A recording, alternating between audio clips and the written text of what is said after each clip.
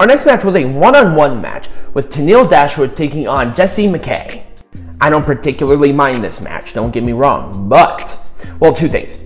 So the first thing was is that I think they kind of did this match way too soon for the rivalry that they're starting to build. Kind of wish they did a little more tag action, maybe a little more, oh, we're friends kind of thing, and then have something like this. They're just kind of rushing it. Also, once again, my expectations being just way too high for some things, um, I just didn't have high expectations for this. But they actually surprised me. It was not bad match. I wish it went a little bit longer and the interferences were kind of annoying, but I think overall these two have good chemistry.